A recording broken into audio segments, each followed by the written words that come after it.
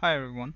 In this video we'll take a look at how you can use R programming language to construct a word cloud visualization from uh, the titles of various web pages. Essentially what we will do is uh, extract the title tag uh, from a set of HTML uh, pages that we will crawl uh, using a different tool and then extract that and use R to do some very basic text processing and ultimately build a word cloud. So in the end of this uh, video you'll see how we can produce a word cloud very similar to this example that you're seeing here. Uh, so to get started uh, what we will need is an example website. Um, so I'm going to use uh, Cloudera, a very popular big data uh, and analytics company. Um, they provide uh, Hadoop distributions and support various other Apache products. Uh, so we'll use their website as an example.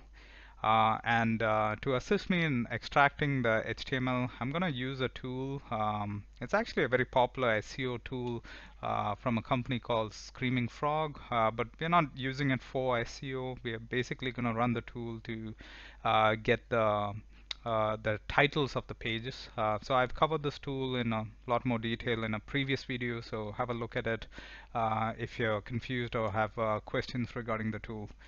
so all we need to do is copy the URL, paste it here, click on start, and uh, I've, I've done this in advance so you can actually see that it's um, the tools basically crawl through um, a, a, bunch of different pages uh, so I'm using the free version which is uh, which has a limit of up to 500 URIs but if you if you have the full tool uh, you can pretty much uh, crawl through the entire Cloudera site. Um, so in this particular example of, of uh, the 500 URIs you can see um, the the the URL of the individual pages and what we are very interested in is actually the the title tag. So that's the title tag the HTML title tag that it's extracted.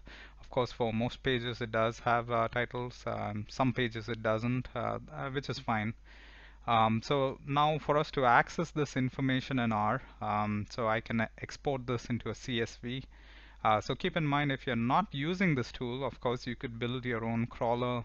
Um, uh, so for example, you could use Beautiful Soup or Scrapy, for example, Python frameworks. Um, if you're into Python or if you're using R itself, you can use tools like RVest, for example, to start building your own crawlers.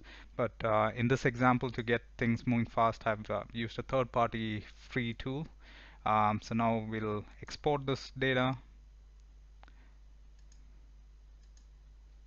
So now that we have the file generated, uh, we need to massage it a bit, change uh, one simple thing in the file. So when in in this particular case, the tool adds an extra row.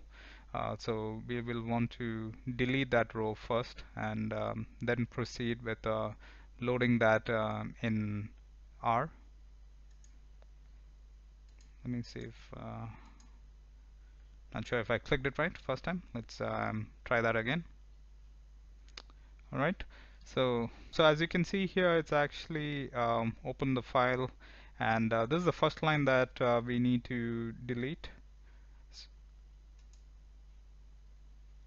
Right, so let's get rid of that first row here. And of course, that's specific to the tool that I was using. And uh, now within R, we'll need to load and process um, the CSV file. Alright, so let's dive into R now.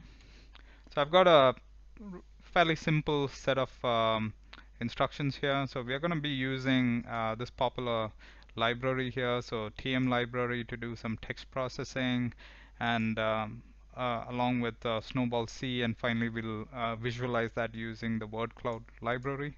Uh, so this shouldn't be very new to you, hopefully. Um, so I'm I'm gonna be rushing through the code. Uh, won't be doing a lot of uh, explaining. Yeah.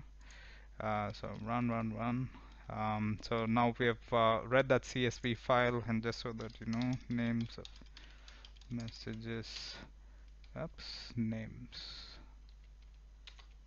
So you can see uh, these are the columns from the CSV and what we need is uh, the title one here. So load title one um, don't have to inspect it right now uh, quickly run the word cloud Um, so here you go. As you can see, really quickly we were um, able to use um, a crawling tool, um, a spider tool, a third-party uh, open, I mean a free tool to extract um, the HTML titles and then we have pulled that in R and really quickly we were able to build um, great visualization.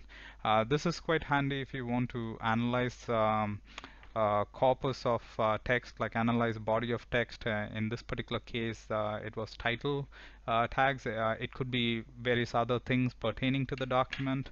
Um, so we can do further analysis here. So as an example um, to take this further you can um, potentially run further text analytics. Like say for example um, we can run other text uh, mining algorithms. Um, so for instance, I'm going to skip this. It's just um, giving me the frequency of various uh, uh, terms used. But um, if I wanted to see as an example, um, so Cloudera as a company works with a lot of um, Apache uh, projects, but uh, if we wanted to analyze uh, from the titles of the various pages, we can see how uh, correlated uh, other keywords are. So you can see from uh, the word cloud itself here that they do work on other Apache projects like Hadoop itself, of course, as well as Apache Spark.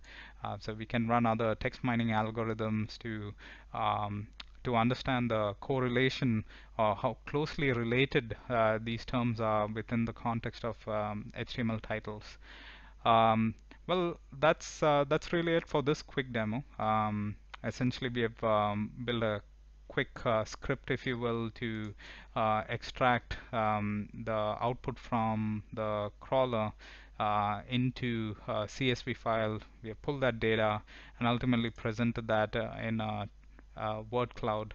We can do further processing, like I've just given you a few examples how you can ex extend and enhance that, but we'll leave that for a different video. Hope you found this helpful. See you on the next one. Cheers, bye.